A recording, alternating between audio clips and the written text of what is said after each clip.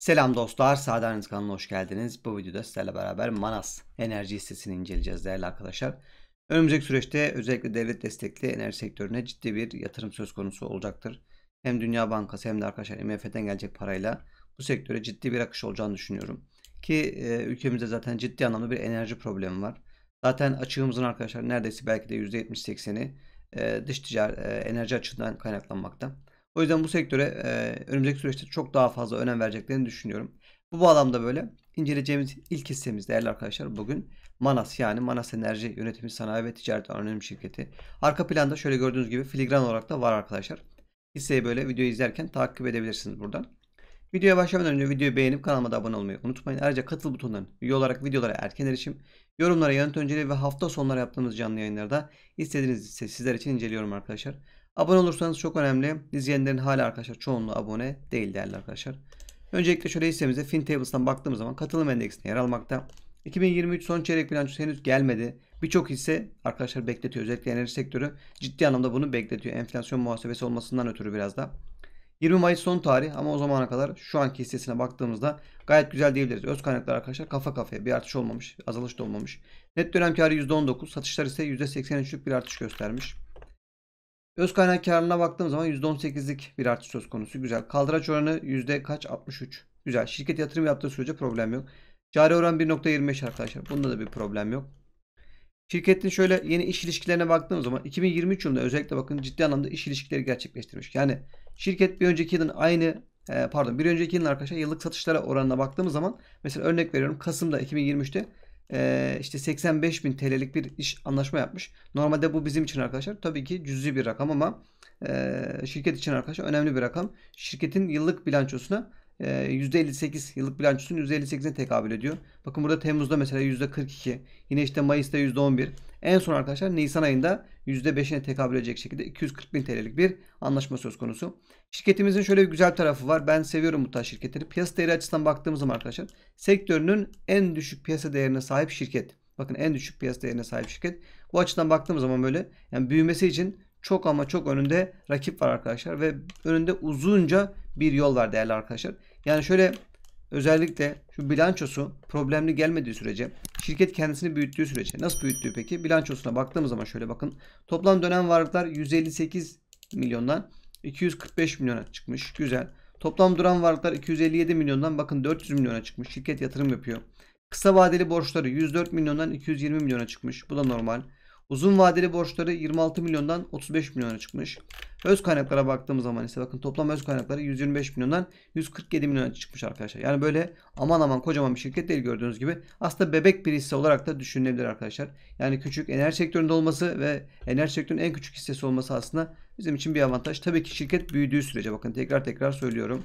Yoksa sıkıntılı, sorunlu bir şirket olsa bir işimiz olmaz. Satış gelirlerine baktığımız zaman bakın 2022 3. çeyrekte neredeyse 90 milyondan 163 milyona çıkmış. Muhteşem arttırmış satışlarını gerçekten. Baktığımız zaman arkadaşlar yüzde böyle 70-80 civarında. Yurt içine 167 milyon, yurt dışına da 3 milyon civarı gözüküyor. Burada bir takım sıkıntılar oluyor. Genelde böyle bunu bu şekilde yapıyorlar. Yani satış gelirleri 163 milyon ama yurt içi satışlar 167 milyon gözüküyor. Ama yurt dışında da cüzde de olsa bir satış söz konusu. Satışların maliyeti 57 milyondan 76 milyona çıkmış. Maliyet daha az arkadaşlar. Gelir daha fazla öyle söyleyelim. Arge var bakın araştırma ve geliştirme. Arge için bakın 895 binden 1 milyon 889 milyonluk bir e, artışa geç, e, artış gerçekleşmiş arkadaşlar. E, Arge çok önemli öyle söyleyeyim size. Yani biliyorsunuz bir şirketin en büyük gide, giderlerinden bir tanesi Arge'dir genelde arkadaşlar. Arge'de yapılan ciddi bir ilerleme şirketi olmadık yerlere getirebilir.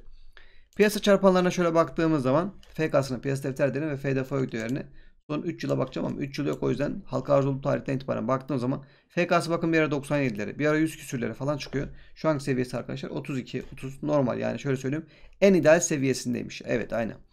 Piyasa defter değeri 8 küsürleri görmüş bir ara. Yine 9'ları bulmuş. Şu anki seviyesi yine ideal arkadaşlar normal.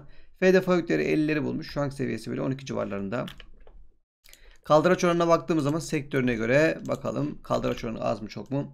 Arkadaşlar sektörünki %47 bizimkisi %63. Hiç problem yok. Arttığı sürece yani şirket büyüdüğü sürece problem olmuyor. Karlılık oranlarına baktığım zaman ise Bakın aktif karlılıkta arkadaşlar. Sektörünki %17 bizimkisi %7. Bu biraz daha tabii ki iyi olabilirdi. Ziraat çarpanlara geldiğimiz zaman enerji sektöründe yer almakta. Sektörün FK'sına baktığımız zaman arkadaşlar 10.99 bizimkisi 32. FK açısından pahalı. Piyasa defter değeri 1.62 bizimkisi 5.54.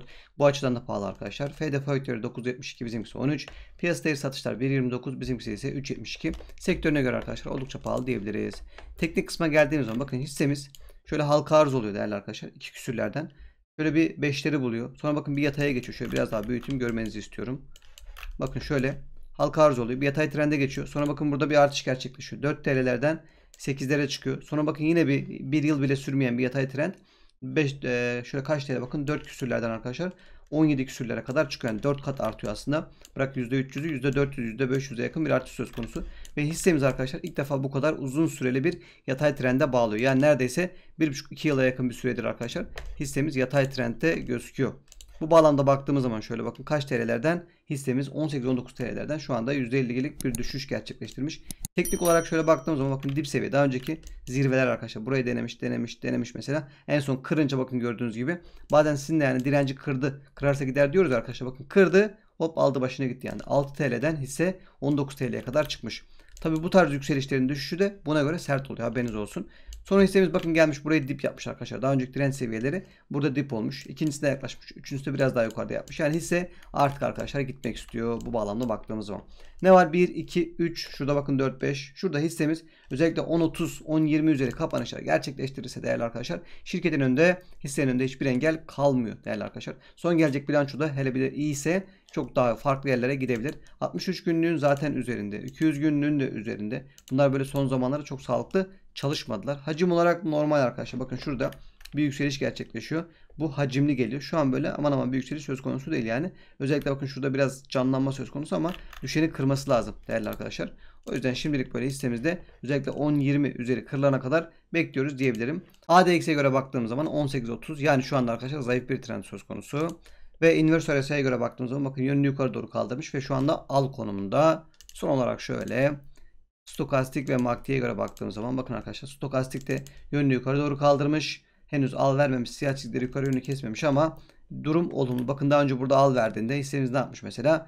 7 küsürlerden arkadaşlar 12'lere kadar gelmiş. Yine bakın al verdiğinde biraz hareketleme söz konusu olmuş ama burada çok gitmemiş özellikle. Ama şu anda durum olumlu diyebiliriz. Ve MACD'ye baktığımız zaman ise arkadaşlar bakın MACD'de mavi kırmızı yukarı yönlü kesmiş. Eksi bölgeden artı bölgeye yavaş yavaş çıkıyor. Yani hissemizde artık arkadaşlar düşüş yani artık son bulmuş diyebilirim. Bundan sonra daha aşağı böyle bir düşüş kolay kolay beklemiyorum. Yani gelse bile tabii ki böyle 6 TL'de dip seviye ama kolay kolay oralara geleceğini düşünmüyorum. Yani hissenin önü açık. Dediğim gibi enerjiye karşı arkadaşlar enerji için yapılabilecek böyle bir iki olumlu hareket devlet tarafından özellikle e, bu tarz hisseleri ciddi anlamda etkileyecektir. Bu tarz enerji hisseleri birkaç tane daha var sizinle paylaşacağım. Arkadaşlar 1,5-2 yıldır yatay trendte bekliyorlar böyle. Yani hareketlenmeyi bekliyorlar. İşte bir artık desteklenir şudur budur vesaire ama teknik olarak hepsi mükemmel bir yerde diyebilirim. Bir sonraki videoda görüşmek üzere.